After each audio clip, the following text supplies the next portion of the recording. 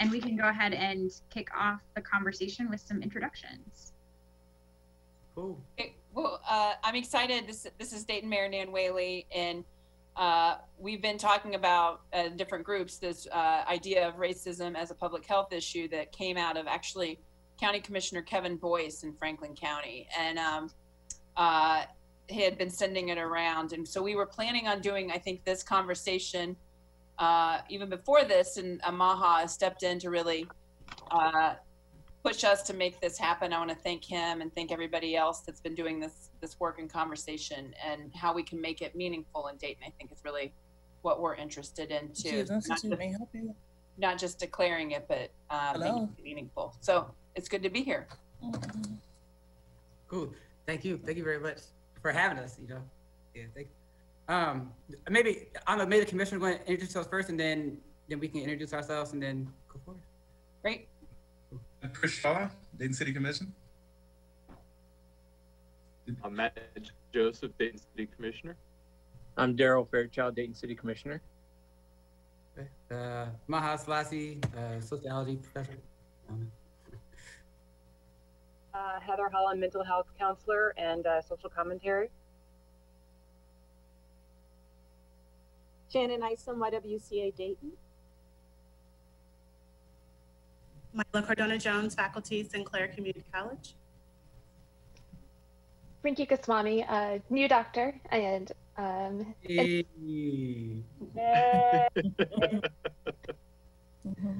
I'm Ryan Ivory. I'm a licensed social worker, and I am the uh, Region 7 Director for um, the National Association for uh, Social Workers, the Ohio chapter in Montgomery County as part of Region 7.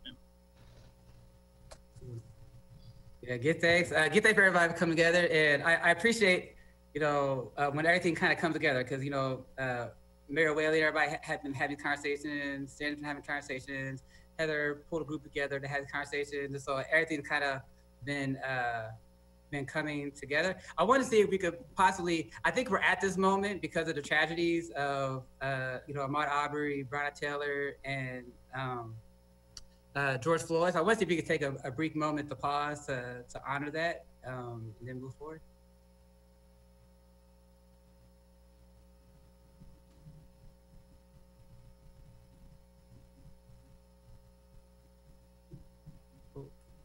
Thanks. Um, yeah, I, I'm uh, I'm thankful and excited to kind of have this conversation to explore the possibility and to see what what it means in this hour during a period of of immense transition, right? How do we uh, develop some lenses and language uh, to kind of guide how uh, transformation happens? Um, I, I, I think uh, I wanted to share something briefly. So we kind of put together a proposal, but I wanted to kind of lay a little bit of the groundwork uh, first and then pass it off to, to Mila to talk about the proposal. You know, so like we know race is a social construct, right? That uh, there's no genetic marker or anything that that delineates race.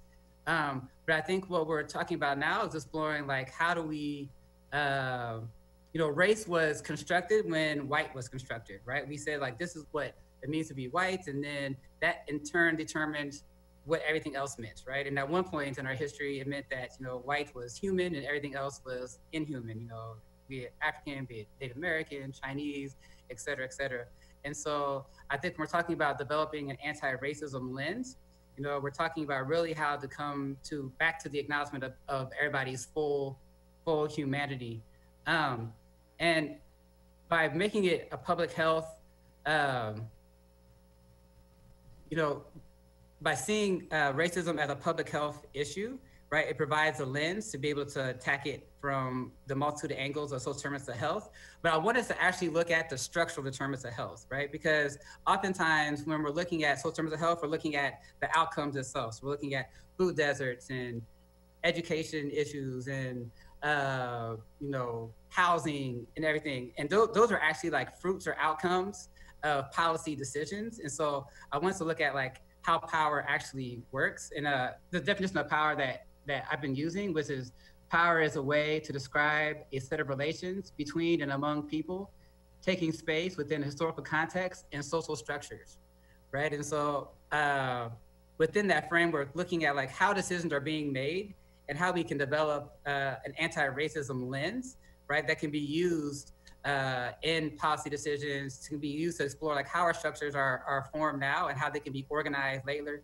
How can resources be organized in a way that that, uh, that through an anti-racism um, lens? Because I think the key is that structures aren't neutral, right? We, we, we make this assumption that like, oh no, the structures are, are neutral, but actually they're, they're not because structures are ideology plus resources. So I have an idea, then I add resources to it, and that's how I build structures or like institutional arrangements. And um, and historically, like so redlining for example, right? So redlining was based on the notion that you know white was safe, right? White was healthy and pool our resources into areas that uh, were labeled green on the redlining maps, and you have blue, yellow, and red. And at that point, you know, the definition of white was small, so that if you were, you know, Jewish, Italian, uh, uh, Polish, Irish, these things did not apply to you. You were not considered white at this time, right?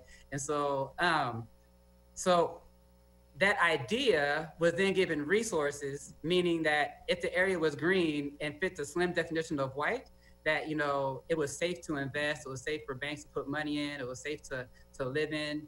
And then as it delineated out, like less and less resources went into that area. So that's how like the structure was created based off an idea, right? And so I think like right now it's like how do we decenter that idea, right, to an idea that acknowledges the dignity of worth of every human being, right? And then codifies that inside the structures themselves, right? So that like policies and the lens that we're using to make decisions uh, is is based upon that. Because right now, because of the uh, the way things have been set, the the structure to have unequal outcomes. That's why you know minorities always end up on the bottom, and it's not a thing of like oh people are intentionally doing it. It's it's kind of like this letting the system go as it is and not addressing the underlying issues that are, that are keep reproducing and sustaining uh, inequality, right?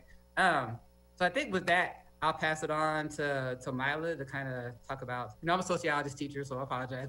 but yeah, if uh, pass it on to Mila to kind of uh, talk about uh, today. Thanks, Maha. So I think it does help kind of set the tone and create the foundation for what we really want to discuss today. Now, we put together a pretty lengthy proposal, and we recognize that we're not going to have time to go through all 18 pages of that today. So I don't want you to think I'm about to read that to you. we, did, we did put together an outline um, to address and to kind of get us uh, on, on point for today. So, you know, we all came together. You know, you've got a PhD, you've got a sociology professor, someone who's really active in the community. I'm a JD, so I'm coming at this from the perspective of all the laws, um, Ryan, who's our social worker, and Rinky, who's the MD. And so we all brought our passions into this one document. And so our hope is that, you know, we're able to really align our goals also with goals that are already initiatives that are already happening in the community. And now, really this is an effort to bolster the work that's already being done and to address the issues that are not um, in an effort to make sure that as a community that we are, you know, really seeing the change and being the change that we want to be and certainly serving as a model um, as a community that you know gets it done. So our overall proposal really has nine critical variables that we believe are directly influencing public health um, from the perspective of racism. So the first one is just that overall understanding of institutional racism, those social norms that really need to be addressed and broken down. And we need to provide that information to the public so that they're aware of what some of those things are. Uh, many of us have discussed some of the conversations that we've had you know, with friends and other relatives and some of the things that they don't even realize as institutional racism. And we need to have those very difficult conversations and continue having those with the community. Equitable healthcare, we all know that that is a huge challenge, not just in this community, but you know, statewide and on a national level. So really addressing some of the ways that we can um, look to what our doctors are doing, what our nurses are doing, ways that we can incorporate additional training, um, what are some of the reasons why African Americans specifically are not getting the health care that they need? From an educational standpoint, um, looking at vouchers, the No Child Left Behind Act, um, you know, why our schools are lacking in certain resources that provide them with the opportunity to, you know, really have more, um, you know, advances. And um, really, we need to get the Dayton Public School Board on, uh, on board with this as well. And so I do want to pause for a second because we recognize that some of the initiatives we have are not just on a local level. We definitely are going to need the partnership of the county, of the state, and all the other entities that are involved in order to get this work done collectively. Um, looking at economic opportunities as number four. Number five is really um, divulging the law enforcement, both on a county and city level, talking about um, some of the neglectful public safety efforts and also addressing the work that's already being done. So, you know, Mayor Whaley, you've already started with your five step um, points, and we think that that's great. And we actually think a lot of the things highlighted within the proposal um, can really help bolster some of the work that is already being done in the community. So then we have the local criminal juvenile um, family courts, um, really working to uh, address some of the behaviors to meet survival needs. Uh, a lot of times when our youth especially come into these court systems, you know, yes, they're, they're assessed, but, you know, is there a need to do more? And I think that all of us, if we're being honest, we can say, yes, we can absolutely be doing more to address these needs at a root cause so that we don't see our youth continuing to um, know enter into the court system and then as adults they continue. So we know recidivism is extremely high once you get yourself into the system. Um, from an environmental standpoint we're looking at racism gentrification redlining all of those structural racisms that are happening in the us system housing systems. I mean these are deeply rooted discrepancies in our neighborhoods and they absolutely impact the conditions and the way people live. Also addressing food apartheid, I feel like I shouldn't even talk about that. That should be a Maha because he is the man when it comes to that. Uh, but we need more than one Gem City, right? We need to fully address the desert that is going on in West Dayton. Um, that is obviously as a direct component of some of the disparity in health that we see amongst our populations. And so we really need to address ways that we're going to get healthy food and viable options into those communities. And then hate crimes. Um, and so at a level, you know, first of all, in the state of Ohio, there is no exact hate crime. Um, there is an intimidation uh, statute that allows you to elevate certain charges, but really addressing, I mean, what, what is a hate crime? What does that look like? And what are the ways that we can um, in, infiltrate that into our legal system so that people recognize the importance of, um, you know, the work we're doing and that we're recognizing that a lot of things are happening as a direct result of people hating on someone for the color of their skin, simply. Um, so those are kind of the nine critical variables. And again, the proposal goes even further into all of those points. Our goal for today, though, I think what we really were hoping was to kind of establish three things. So first, just outright declaring racism as a public health crisis at a local level think, you know, we're at that point. It's time to do that. Um, obviously, this allows the city of Dayton to begin breaking down each area that is going to be addressed in that proposal and anything else that comes along the way. And that gets us moving in the right direction because, you know, it becomes racism becomes a community issue. Right.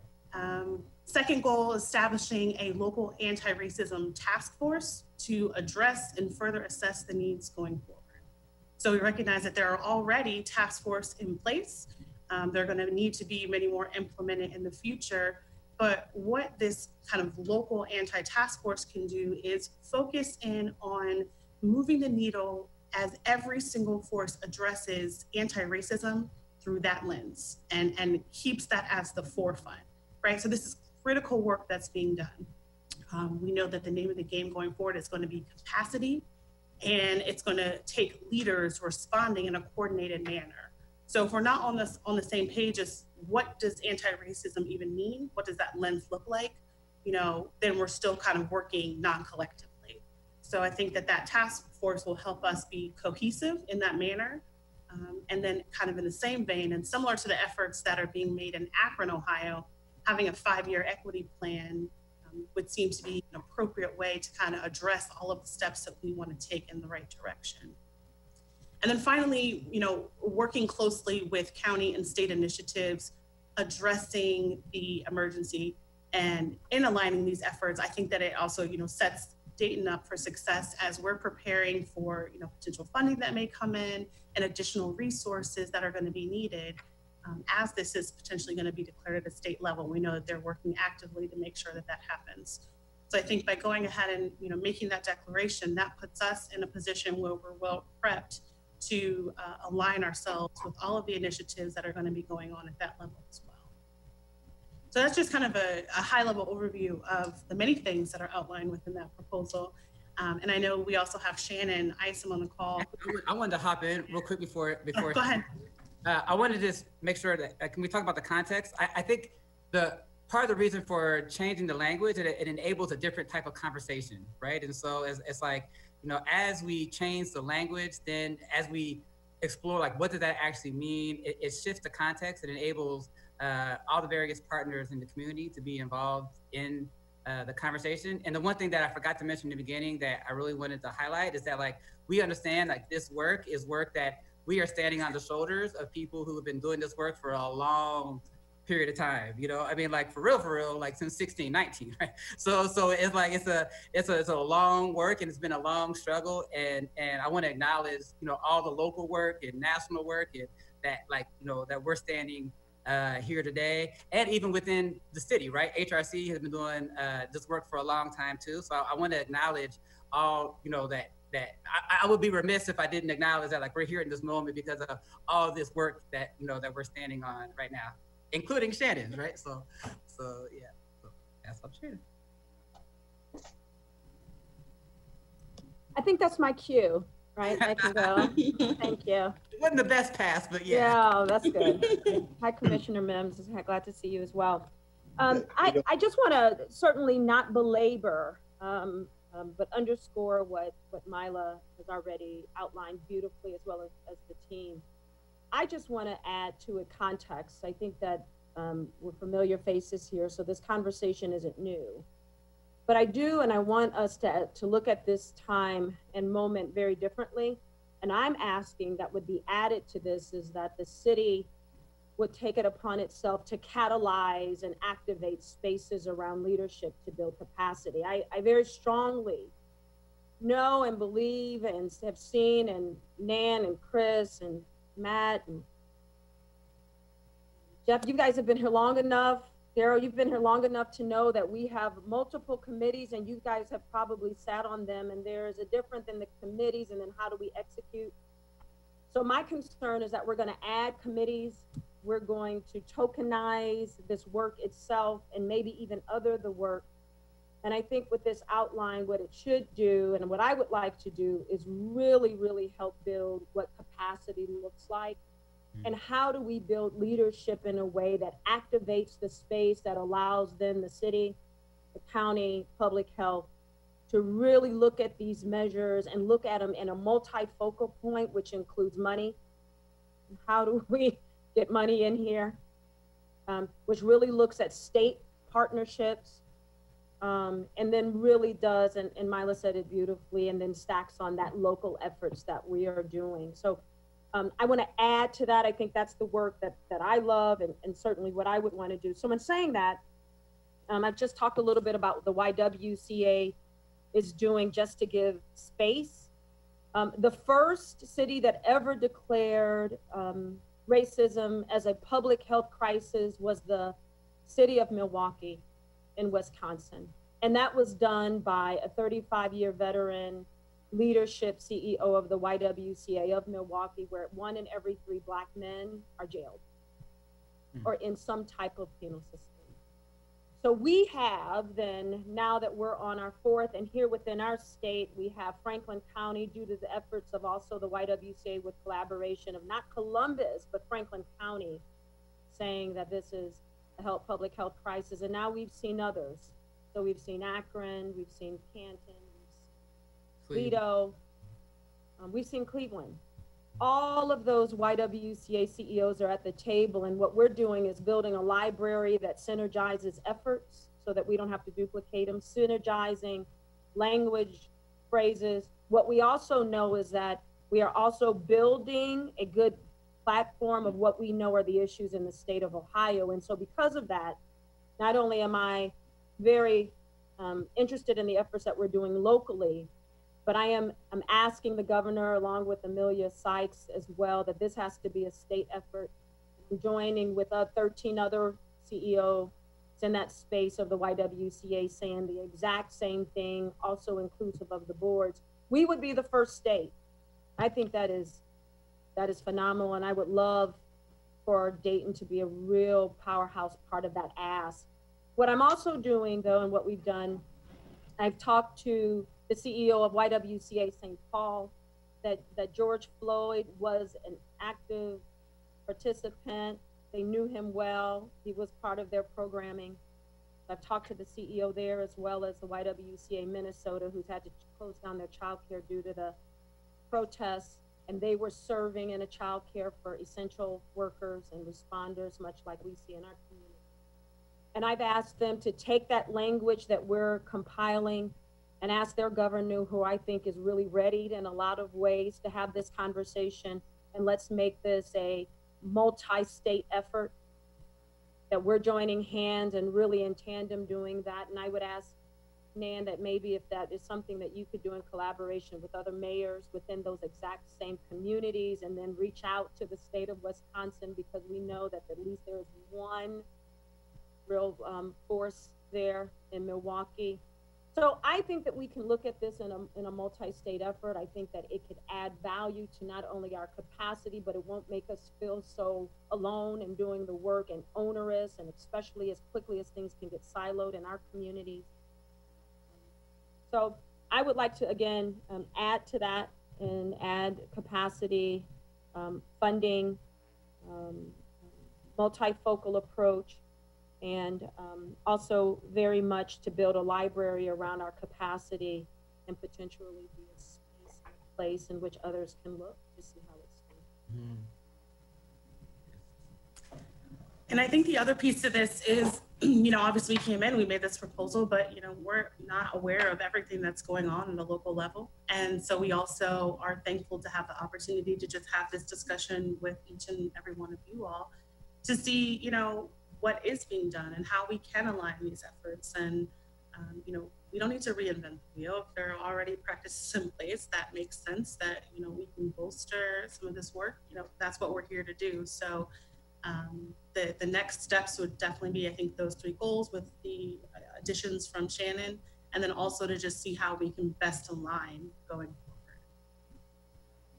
Yeah, yeah. I, I think like to me, it's like how do we, you know, utilize collective impact, but utilize collective impact towards, you know, developing an anti-racism lens and anti-racism community, and how the different sectors can come together in in in this effort. You know, because there's so much momentum right now, but like, how do we how do we actually do it? And I love the idea of the library because I think that's part of like like like how how we build our local capacity is by more people that are educated on on, on language and how to do it and how it works and doing our own work, right? Because we can't really do this work in the community if we're not doing this work individually first. And I know I have a lot of unlearning to do myself, right? And so it's like, you know, we, have all kind of been struck by the disease. I can't speak for anybody else, but I'll speak for me.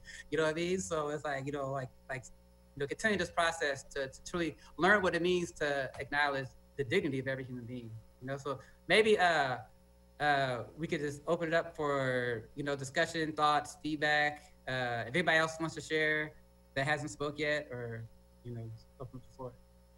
Yeah, I, I don't know if there's other folks that want to add to this that are on it, like Rinky, Ryan, or Heather. Do you have things you want to say about the, the proposal? Um, so for me, um, I was really listening and, you know, hearing about doing the collective efforts uh, locally as far as, um, you know, statewide. I wanted to mention that a lot of the research resources that are in the proposal, though lengthy, have been uh, uh gathered from um, local, national, and even international resources. So these are things that have been um, researched and uh, evidenced, scholarly evidence uh, that's worked uh, currently as far as um, historically. So looking at the historical perspective, which Amaha was talking about, um, right, with when we talk about the redlining and the vouchers and, and all those different things, understanding um, where those words um, and where those ideas come from, I think is important for us to be educated on as a group, um, not just so we can have the verbiage, but we can have an actual um, complete and competent dialogue. I think this is example diversity, right? When someone says that word, it it, uh, it creates many visuals for many different people, right? And I think that's where a lot of times, sometimes the uh, the messages or the education gets lost um, in the fluidity of those things. Um, but I would like to see the work that's been done, uh, some of the research that's been done already. Um, just for me, that's that's something big. I love the library idea. I think that along with creating the libraries, we need to like. I think what you're trying to get out of Maha is archiving um, some of the work that we're doing. You know, passing the passing the torch, more so passing the manuals for those who you know coming behind us, because this has to be the work that has to keep on going. Shay. I think Ricky wanted something. Okay, yeah. Oh, yes. Um, so not to compound one crisis with another, but as you guys all know, we're in the middle of a pandemic, um, and COVID-19 has absolutely proportionately affected communities of color more than anyone else. So um, my big question, especially as a new physician, is how we're going to work together to kind of mitigate the second wave that's incoming. Um, and that's that's one of my biggest concerns that I would like for us to discuss if possible.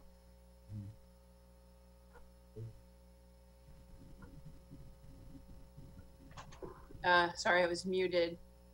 Uh, uh, I was missing something. Ryan, do you want to say anything? I've lost your screen.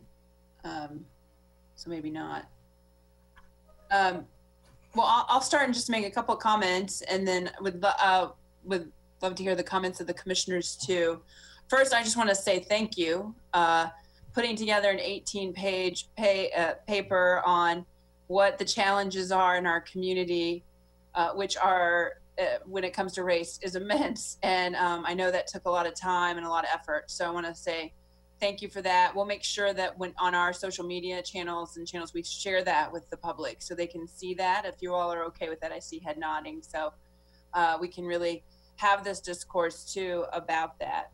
Uh, and i think your all's point particularly about this work that i think of the nine points made in the paper I think the city of Dayton has direct touch to a third of them. And so there's no way if uh, this very powerful body, the Dayton City Commission, said this, we would only be able to deal with a third of those. So we know we have to engage more of our community partners. Um, and that's, and quite frankly, that's um, a challenge too. I think we need to be honest about because there is an education level for all of this that we're as we're all learning through this that we all come in different places in this and so making sure that people get to um, why this is so important is going to take the work of all of us to do so i'm committing to that i think that we really need to have um, uh, an effort on this that is bigger than just the city of dayton right so Dayton will be committed to this. I'm sure I would be surprised if all commissioners showed up and so they didn't want to do this. Uh, but but we have to we have to broaden that work. And when you talk about an anti-racism task force, there are conversations all around the community right now. And I know Amaha's in some of them, and Shannon's in some of them, and you all are probably in some that I'm not in. Um, but the ones that I that I see and hear, and I think too, we have to do some work on these task force to get them to say the word race. Like we need to, right? Uh, yeah. And I think just I know that sounds like a small bar, but I'm all husband in some of these conversations, oh.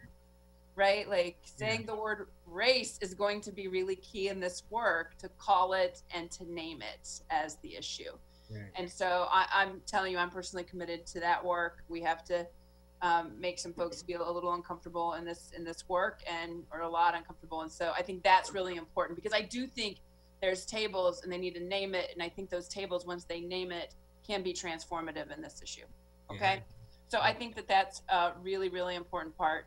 There is work underway for an equity plan. I would, again, I think we really need to like call it like a race equity mm-hmm. plan and you know uh, really start pushing this now in this opportunity to make transformative change about how our community and its leaders think about this and we have to start using words that matter and they do matter in this and so um, i think those those things are very very very do- doable. And um, Mila, your your point about working with the county and the state is so very necessary, and, and the schools, right? Because when we think mm-hmm. of this public health issue, um, the public health system is countywide, so we appoint some people, and the county does. So they're key in it, but it's again not something that we ultimately have control over. And frankly, you know, there are many African Americans that live outside the city of Dayton now, so too. So, you know, we have to get other jurisdictions engaged in this. Um, else, we're not really doing anything for our community as a whole at large, and um, that's gonna that's gonna be some serious work too that we need to do. Uh, I want to I just want to point out a couple of things that this commission is committed to. Uh, Milo, you mentioned the work that we're doing around police reform that we announced last Wednesday. That's key. Obviously, something we we as a city in Dayton Public Dayton Police have a lot of control and authority over. But I do think we have to talk about the county sheriff here and other jurisdictions in this work because um, we've had issues in all places, and so really calling that out, I think, is going to be important. Not, not I mean, I want everybody to work on our stuff, so I mean, it's kind of hard if I'm saying like also because we're gonna need a lot of help on ours, but I think we have to re- recognize that too. Uh, secondly, Commissioner Mims has put together really a West Dayton Recreation Working Group as we've talked about how we're transitioning around recreation, which is a race issue and, and an equity issue in our community. Uh, most of the children that we serve in recreation youth services are African American children. What does that look like? We haven't looked at it for 15 years. I know Commissioner Mims will talk more about that, so I'm not going to take all of his thunder there. Um, and he's working with Commissioner Shaw on that. We, we also did the eviction task force. That was again, you know, recognizing that um, women of color with children were the most affected by evictions. And so, how could we really do that work? You know, we used a race lens there for that and are continuing to do state advocacy around some of the things that we can't control uh, that can be controlled by the state. And then we put together last year this neighborhood housing conditions team uh, in partnership with Bloomberg Harvard to figure out, uh, you know, we have significant, because of redlining, we are still dealing with redlining in our community. And even though it was outlawed near, you know, 50 years ago, it still has effects in Dayton. And so where do we go from here? And these are these are questions that cities like Dayton, Albany, Syracuse, uh, Buffalo, Rochester, um, Lansing, you know, we are all we are all working on this because we haven't solved those problems, but we still are working on that with the group and have put significant capacity of that. And then again, the work that Commissioner Mims does um, around Men of Color and My Brother's Keeper initiative, as he's led that in partnership with Dayton Public, has been, I think, key of that. And then, you know, the, the big issue is the big the thing we've you know been committed to as a as a city for decades is the Human Relations Council and the work that they do and have done uh, all through decades uh, has pushed some of these issues. Um, and I think there's opportunity to really uh, figure out ways that um, things can be continue to move through there. And I know many of you have served on that board and, and or serve in some capacity there. So those are the things that we we see and we look through, particularly around um, uh, this issue about racism as a public health issue that the city is pushing, and I'm sure there are more things that we can do. Uh, we have talked as well with uh, public health, Dayton, Montgomery County, about having a city county table around public health. And so I think that that's really important. Again, they have looking everything through an equity frame. I think, again, we should, you know, say it should be a race equity uh, uh, frame. And so yeah. I think we just need to start doing that work and calling on that for our community leaders to do, right? And I think there's a great opportunity for that here. Uh, Shannon, you talked about the state and national effort. The Ohio mayors were on a call nearly daily for, because of COVID for the past, you know, 80, 90 days. I think nearly every city on that call, the seven cities, Dayton, Akron, Toledo, Columbus, Cleveland, Cincinnati, and Youngstown, will be passing this declaration. Uh, they're all going different ways around it because some want the council to do pieces and some, you know, everybody has their own processes, but we have started talking about that um, uh, uh, nearly 10 days ago about this. So that will be acted. Uh, we had a call yesterday with uh, Representative Sykes, uh, Leader Sykes, about this as she tries to move this through the legislature, which is very difficult. Again, the Ohio legislature. Um, I don't know if they, well, I'm just going to leave it alone. Uh, anyway, that's going to be very difficult to, to move through. And um, uh, we support her in that effort. But she did say that she was getting people from across the aisle that are interested, which is heartening and oh, one is a beginning. One is a beginning, Shannon, uh, and ho- hopeful. And there's things again that this community can do. Again, as we talk about this being a regional effort to call on those legislators, because except for one, they're uh, Republicans, there's opportunities to ask them as well in our community. We have to start making people feel uncomfortable about this issue. Right. Um, and we have to start having um, those really tough conversations with our leaders. Um, you know, we uh, we really I, I know people might not believe this. We welcome that at City Hall. We do. Uh, we appreciate it, and it helps us grow. And we have to we have to require that for other parts of our community as well. So uh, we're committed to that. Um, I'm going to let the commissioners speak. Uh, I've gone on a bit, but I wanted to just kind of talk about all the things we're doing, how they fit on this uh, public health issue uh, uh, lens and this work around around race. And um, I'm really, really grateful for you all putting so much time and effort to this because what we did not want to do is we did not want to pass something and then it have no meaning. And I Mhm. think what you guys have done is to make it okay. Here's what the meaning of this is, and here's the actions that we can work on in our community. So I'm going to move through the commission, if it's okay, Amaha, and start with Commissioner Fairchild and move up through seniority, if you're okay with that. Yeah, that's great. Yeah. Okay, Darryl, you're up. Thank you, Mayor, and uh, want to thank you for your comments and for all um, Amaha and the team for bringing this forward. Um, I think just three quick comments. One is, Mayor, I appreciate you talking about the importance of how of being able to speak candidly about race and forthrightly, and that's going to be very important. Having said that, um, I've done enough race relations over the years to know that um, there's a recognition of what is now being called white fragility. And so, for many whites who are able to live within a world where they don't have to um, be impacted by issues of race um, daily, or in many ways, only when they choose to, whenever they have um, encountered this, they get a little bit of distress. And because they're fragile in this area, they will react in very defensive ways. And so I think it was um, Shannon Isom who um, acknowledged about creating space. And so part of our work will be to create that space so that whites can be brought into this conversation in a way that we they can recognize that distress, be a little bit uncomfortable, but be taught the skills to be able to overcome that distress and remain in the conversation. And so I think that'll be a really important um, part of the work that we do together. So actually, I think I only had two things to say. Yeah, okay, thanks, Darryl. Yeah. Yeah. Those are important points, Darryl. I appreciate you bringing up particularly the issue of white fragility. Uh, as, and I do think, and I think that probably goes, you're probably fair to say it probably goes with some of our leaders in the community as well, that they have that. So we have to be thoughtful about how, how, what the end game is here, right? So. Right. And I, I, I mean, I, I would say white and black, right? Because I think some black are afraid to, to, to press the issue for fear of like misunderstood or consequences, right? So I, I- I think it's a holistic thing of like, you know, we kick the can down the road, but like, what's the generation that's going to actually like take the stand that like we heal the intergenerational wounds? Because like, if I, if I harbor these things and I pass them on to my daughter and then she passes them on to her kids, you know, like, like what's the generation that can take the stand, right? And, and move the needle. Thank you, Maha. Commissioner Shaw.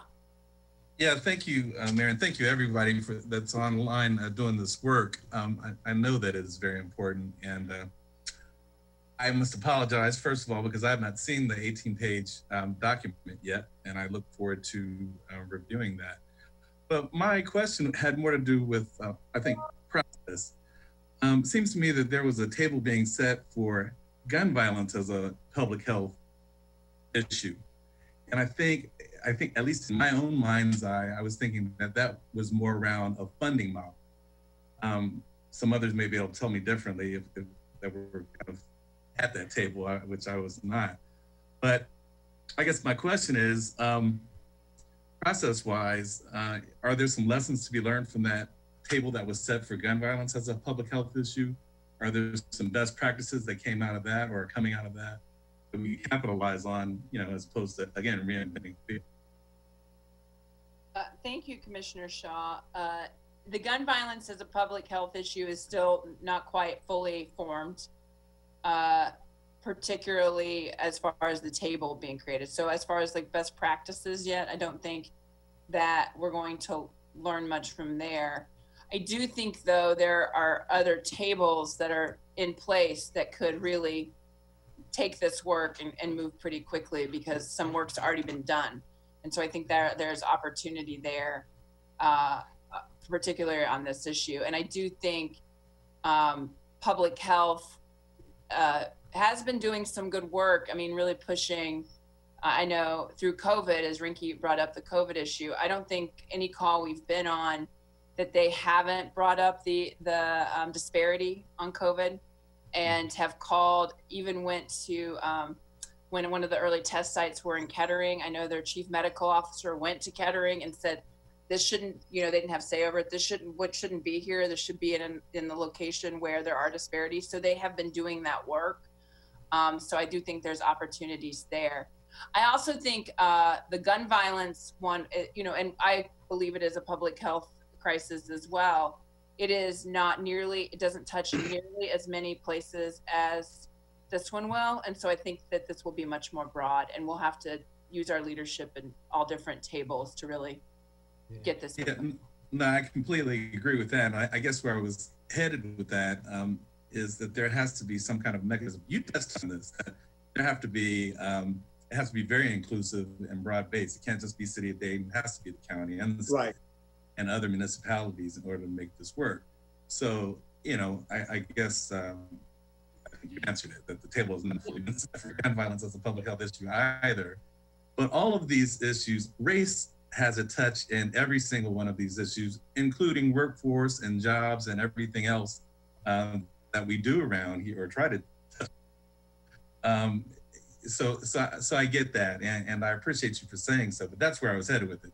There has to be a way. Certainly, the city of Dayton can't fund much of this ourselves, frankly. And uh, we got to make sure that we have the partners at the table that are going to be able to drive these things forward. Uh, and that obviously begins with a countywide conversation, but certainly the state and everyone else. Uh, just, again, thank you for doing this work. And I know this is very cursory. We're just getting started with this, but if there are other models that we can kind of build upon, um, that would be preferable. Not that we just have to do the work um, on our own.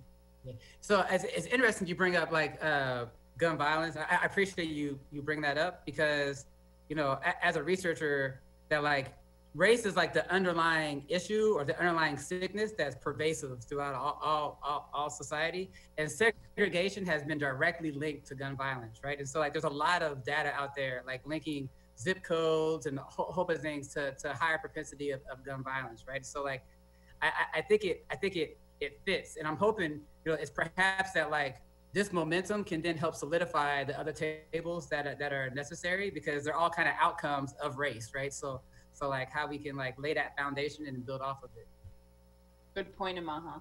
Thank Commissioner mm-hmm. Shaw. Anything else? No, no, no. Go right ahead. All right. Actually, I well, wanted to address, go ahead. Okay, I'm sorry. I just want- to quickly address uh, Commissioner Shaw. And I, I uh, know that you have been able to look at the, um, the full publication, um, but when I speak about gentrification and residential segregation, I do touch upon, um, I don't say gun violence specifically, but I do talk about different uh, violence um, that we are dealing with in, in certain segregated areas and the historical context, reason why those are, and then I actually actually also have plans of action. So it's not just um, at sort of like the city or local level. Like we as a as a group really have put in um, work plans of action models that have already been uh, proven or evidenced to be uh, formidable. And those are all, along with the resources um, to be contacted or to utilize, those are all within the in the plan of proposal. Thanks, Heather. Thank you. Commissioner Mims, I know has been uh, dying to say a couple of things because I've heard him ready to pipe in. So, and as I named him a few times, Commissioner Mims. Well, you know, I've, I've um, probably been around for a couple minutes in terms of addressing some of these issues. And um, uh, while it's painful to see the symptoms of the problems that have not been resolved over the decades, um, I don't know if to say if it's somewhat gratifying that we see this find people moving together at least right now to be at least more aligned uh, to address this issue. And, and that goes back to one of the things you said. I'm, I'm certainly in, in concert with moving uh, with this action towards the, the health issue, certainly. Uh, the alignment is, is, uh, is important. I think the issue that was mentioned earlier again in terms of uh, the collective input, in terms of how we make some of these things happen, because they're affecting every one of us. You know, we cannot do these things without addressing the word of race. And so many of us, again, including myself, sometimes we are cautioned to use that word for fear of alienating some of the individuals that we need to resolve this or these issues. Because we cannot, as African Americans, resolve these issues by ourselves. we certainly didn't create these issues. We don't have the control, for example, uh, at one time when I was a, um, um, a lobbyist as well as a human rights type of person with the school system and working in those areas where we saw the in, in training processes, those individuals who were white who made $55,000 a year because of the interest rates they were getting on homes and cars had the buying power of African Americans who were making $75,000 a year. And it was 70% of those. It wasn't just 10%, 5%, and things of that nature. The, the involvement with the Supreme Court ruling on school funding, now more than 23 years old. And when you have four Supreme Court rulings, and you also have a Common Pleas Court ruling uh, before that, that says primarily the way we fund education in Ohio has its most negative and adverse effect on urban and rural communities. And yet, we can't get it fixed. And the reason why is we've gone through a myriad of meetings. Um, uh, again, collectively over five or six years of dealing with that particular issue. And like I said, those four Supreme Court rulings. And then trying, because we had the uh, merits determined, trying to get that to be moved to the U.S. Supreme Court to get a decision there. You you probably would not be surprised at how many individuals, politicians, primarily Republican, went to bat against the Supreme Court hearing that particular uh, case because they did not want a remedy. They did not want a remedy for that particular issue. So even when we look back at that issue in terms of funding, how it affects young people, the educational piece, which I'm going to talk about the recreational piece as well because it's connected to that, because all these things are quality of life issues. And when you change that bell curve that says the children at the lower end of the spectrum are predominantly uh, poor and white and black, and the ones at the top end predominantly, uh, of course, white and affluent. And, and those individuals are concerned that when you begin to give adequate resources, that bell curve begins to level out. Hmm. And it creates another perception that the black kids now are smarter than we have given them credit for all these decades. Hmm. so when school systems are fighting, if you will, to get proper funding and the testing craze, which we also know based upon data, has again the most negative impact perceptually on African Americans, especially African American males. And when you take away things from the community and the school system, because cities that are poor, like like Dayton, Columbus, Cleveland, Cincinnati, we also find ourselves in a situation where we have to cut those kinds of things that people seem not to have the value for. Therefore, we make reductions in recreation. We have cities and schools that make reduction in their athletic programs, their music programs, their art programs. So going to school gets to be an issue for young men, in particular, black males, who say, I'm tired of taking these damn tests every day. Now, and they're saying some things a whole lot worse than that. But I'm just letting you know that that's where they are because you've taken the fun out of school for not just the kids, but also for the teachers, also for the principals, and certainly for the parents. And we all know that schools and communities are linked together. Yeah. And when we when we struggle with the the men of color, we had strong support six years ago with leadership in the school system. And since that leadership changed, it's been a serious struggle to get the school to accept the fact that the Men of Color, My Brothers Keepers program, is not an educational program as much as it is a social program. Exactly. However, the social program creates educational results.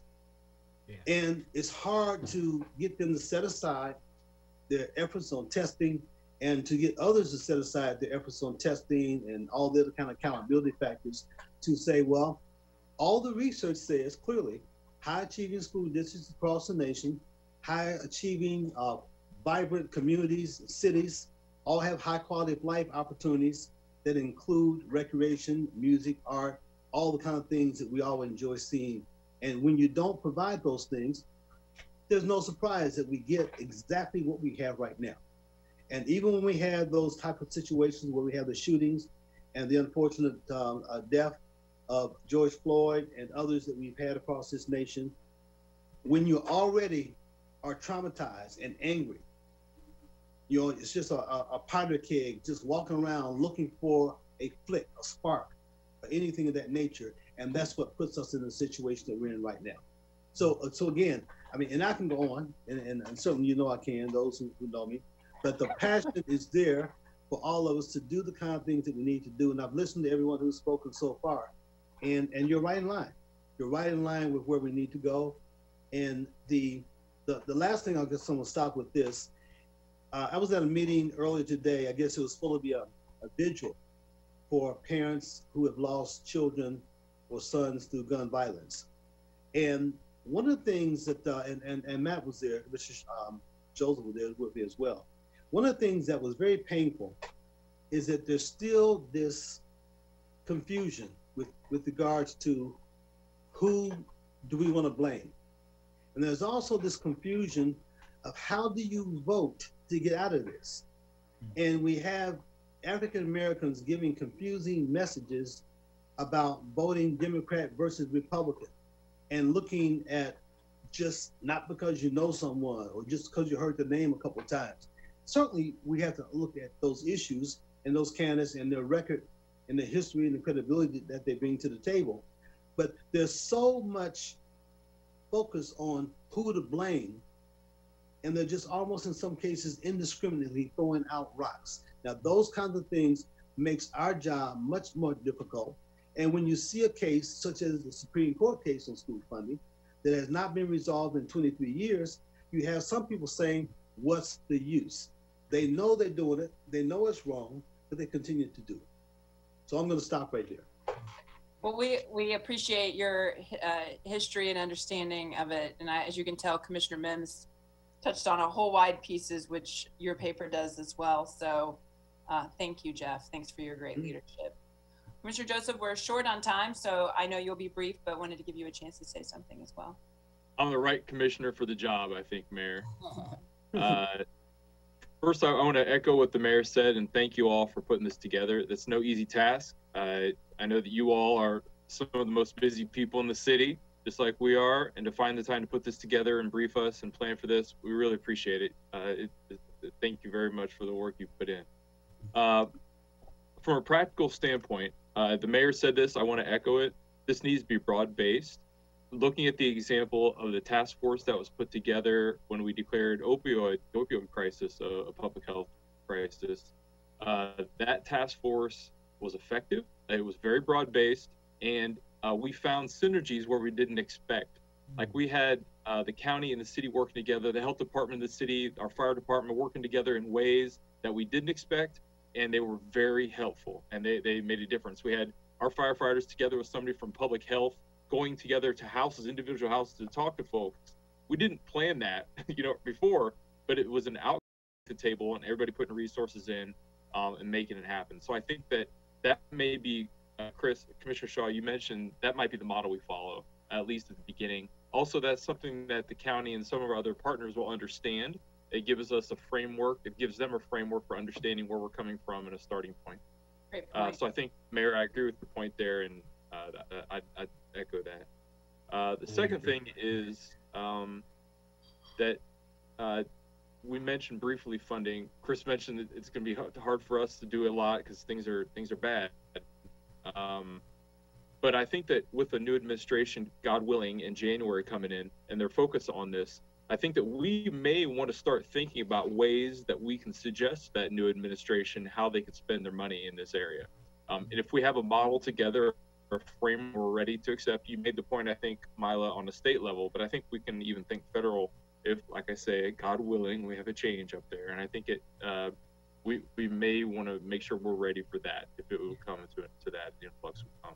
Um, and finally, uh, I haven't been around as long as Commissioner Mims has, and I appreciate his experience, and I look forward to hearing more about it uh, one of these days. But I will say I've been around long enough to recognize that this is a special moment. This is something that doesn't come around very often.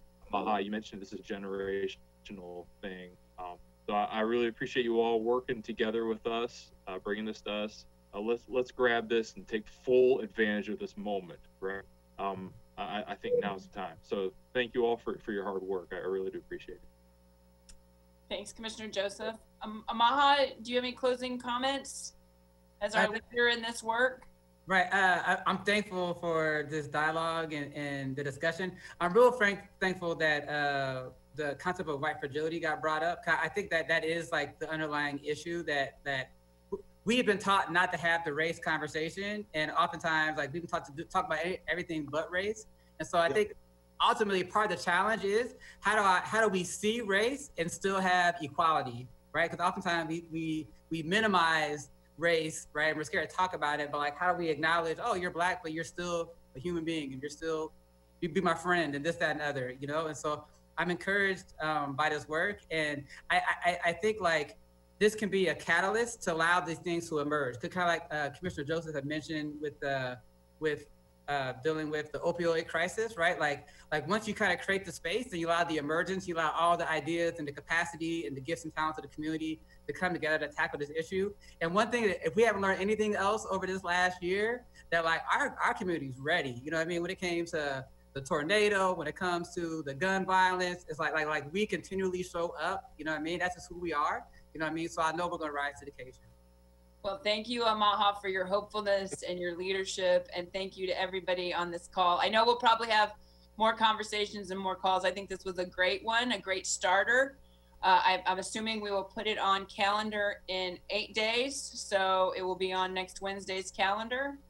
Uh, and then um, we'll, we'll, we'll already get to work before that, but I look forward to, I think these conversations, Zoom, the, the time of COVID allows really deep conversations on Zoom anymore. And um, I think we should do this again in the future as we talk about different places that we need to move. So I want to thank you all for that and appreciate. Thank you for, for, for allowing the space to happen. You know, like we would appreciate it. Oh no, it's awesome. I appreciate you all, and uh, you all have a great evening. And thanks for thanks for all your work on this. Um, it, it, it really means a lot to us, and it'll make a difference in the community. Okay. Right, have a great evening. Thank you. Good night, everybody. Thanks, everybody. Bye.